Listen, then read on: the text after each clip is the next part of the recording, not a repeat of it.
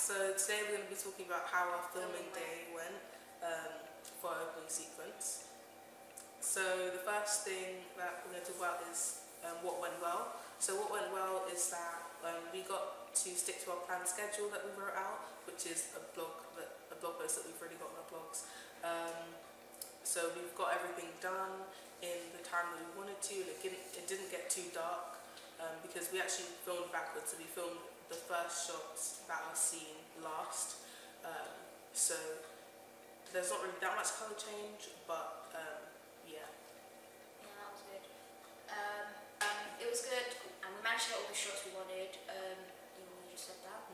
Uh, also, we, I don't know. the continuity was good. So when it when it's edited, it will make sense. So that's good. And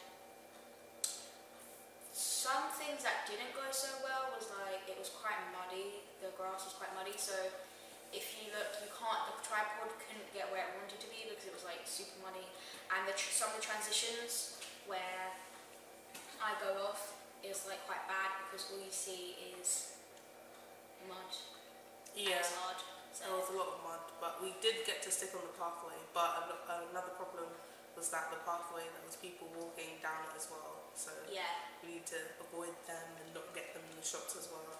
Um, but overall, we did quite well because we got all of our shots actually, yeah, um, and it wasn't too dark when we filmed, so everything was visible. Like it wasn't um, too dark, so it was quite sunny. But we can Yeah. edit it later to make it look less sunny anyway. because we want it to be thriller. Yeah.